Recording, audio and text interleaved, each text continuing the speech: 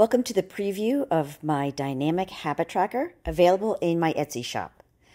So, to begin with, the first thing I want to point out is that all of these checkboxes are created dynamically and only if there's something listed under habits.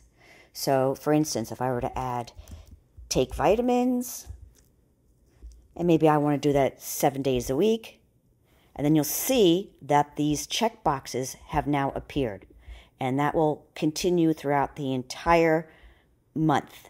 All right. And if I wanted to add another one, maybe I want to do yoga three times a week. And again, we have the check boxes appear for that. Conversely, if I were to delete a habit, the check boxes go away all throughout the month. And this is actually written in code in Apps Script. All right, the next thing I want to talk about is this quote of the day. And this is randomly generated at the beginning of each day, actually at midnight of each day. And again, this is dynamically coded in the background as well. Here is our start date. And if I were to change this to a day where there, uh, sorry, a month that only has 30 days, let's go back to September 1st. And if I scroll all the way to the end, you'll see that there is no 31st here. But if I were to go and change that to a month with 31 days, like October, this will then appear. Now, let's talk about our goals. For me, I have daily goals, but I also have goals that I don't want to do daily, like walk three miles. I just know for myself. Um, sometimes I just really can't get it in to walk. And so I put it down that I only want to walk three times a week. And what I have here is our weekly goals. And that means if I did seven, if I completed all my goals, so, so for the instance, to journal is seven days a week. And if I did that, I get this little trophy. If one of the days I did not journal, it gets a red X, which means I did not complete my weekly goal for that habit. Okay? And for walking three miles, I've done it one, two, three times this week, so I get a little trophy.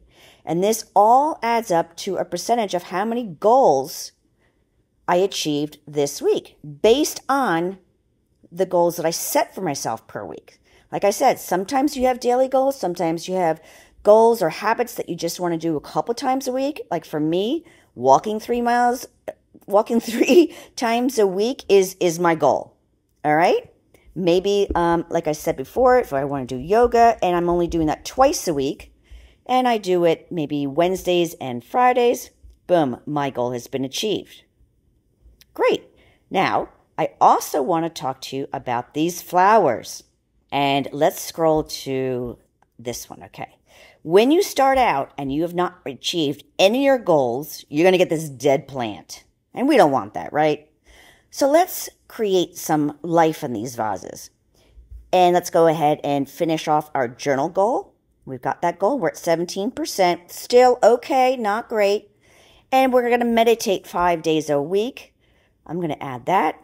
Oh, look, I'm now at 33%. So anything over 25% of my goals for that week, I don't care if I have one, two, three, or 10, this will calculate the percentage of goals I have achieved. Now, suppose I am now doing yoga and I'm doing it Wednesdays and Fridays, and I've achieved 50% of my goals. And at 50%, I get three flowers in my goals. And let's say I've done three, I walk three miles three days a week.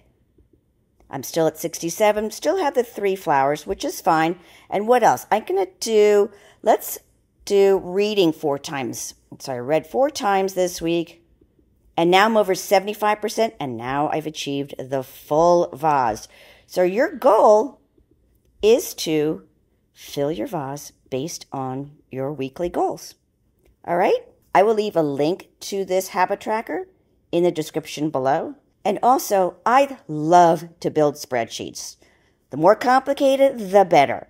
So if you have an idea for a spreadsheet that you would like to see built and have a tutorial based on that, please drop a comment below and I'd be more than happy to do it. I hope you find this habit tracker useful and I'll see you in the next video.